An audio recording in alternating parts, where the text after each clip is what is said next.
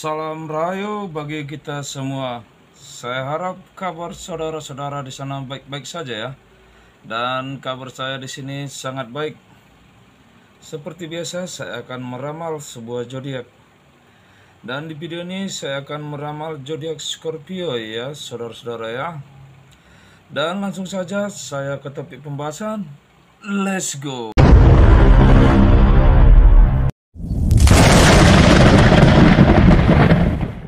Dan alangkah baiknya saudara-saudara saya ini membantu channel ini agar lebih berkembang lagi ya. Dengan like, subscribe, dan komen ya. Dan langsung saja saya menuju ke topik pembahasannya.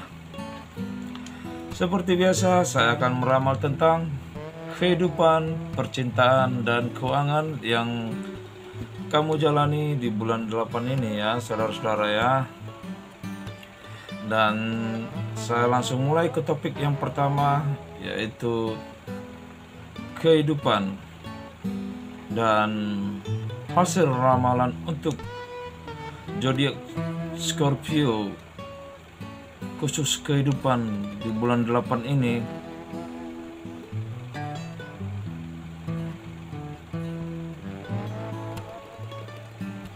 Yaitu menyendiri untuk meraih kesuksesan ya. Menyendiri untuk meraih kesuksesan. Sepertinya dia lebih mengedepankan apa yang diinginkannya ya. Dan dia tidak membaur kepada lingkungannya ya. Sepertinya dia kebanyakan di dalam rumah ya. Untuk orang yang berjodiak Scorpio ya dia betul-betul ingin mengejar apa yang dipikirkannya ya.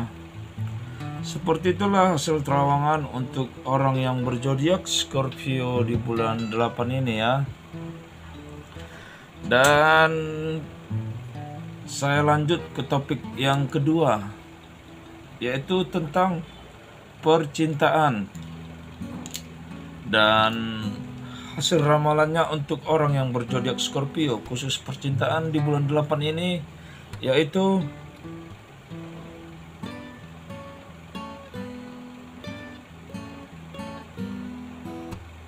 Utarakanlah isi hati Anda. Utarakan isi hati Anda. Sepertinya Anda mempunyai unek-unek ya untuk pasangan Anda ya. Dan Anda mendiamkannya selama ini ya. Jangan terlalu lama dipendam ya saudara. Karena akan membuat kekecewaan di kemudian hari jikalau kamu menyimpan unek-unek yang ada dalam diri kamu kepada pasangan kamu ya. Sampaikan saja walaupun itu menyakitkan ya. Dan begitulah hasil terawangan ataupun hasil ramalan untuk orang yang berjodoh Scorpio khusus percintaan ya. Dan saya lanjut ke topik yang ketiga yaitu khusus keuangan dan hasil ramalannya untuk orang yang berjodoh Scorpio khusus keuangan yaitu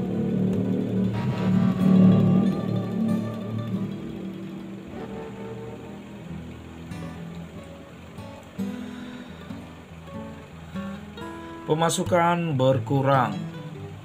Pemasukan berkurang. Sepertinya pemasukan khusus keuangan kamu di bulan 8 ini mengalami penurunan ya yang saya lihat ya. Sepertinya kamu sedang mengandalkan tabungan kamu ya. Itulah gunanya menabung ya karena kita tidak tahu di depan hari kita mengalami kesusahan ya.